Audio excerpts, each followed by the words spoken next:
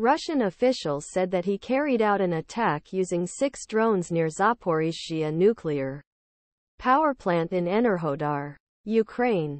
Enerhodar and nuclear power plant were occupied by Russia immediately after the full-scale occupation of Ukraine. Putin said 1,000 to 1,500 Russians signed voluntary contracts to join the army every day.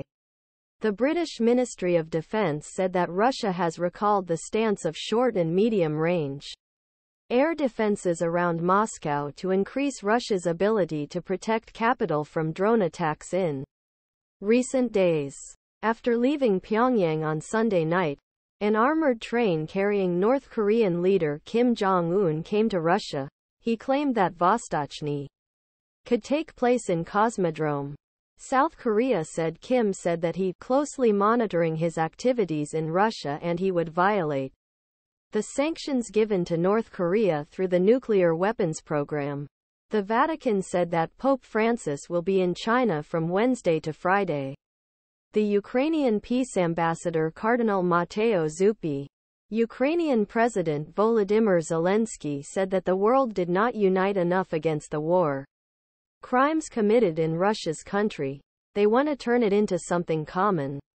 Polish Prime Minister Mateusz Morawiecki called the European Union to extend an embargo on the import of Ukraine Egypt, wheat, sunflower and rapeseed, weaponry the news agency, reporting that he referred four United States officials.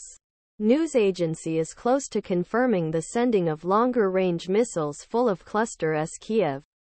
Lieutenant General Michael Loh, director of U.S. Air National Guards, said that first Ukrainian pilots trained on F-16 fighter aircraft before end of year could be longer than before flying war tasks.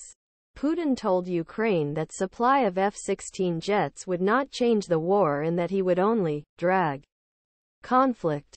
The Swedish government said that according a report of the Swedish People's Radio, he would ask his armed forces investigate whether it was possible send Gripen Hunter jets Ukraine.